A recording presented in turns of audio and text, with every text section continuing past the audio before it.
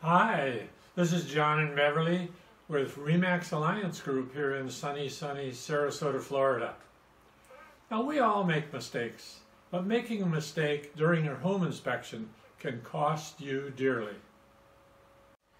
So that's why we created our latest report, How to Avoid the Top 8 Home Inspection Mistakes.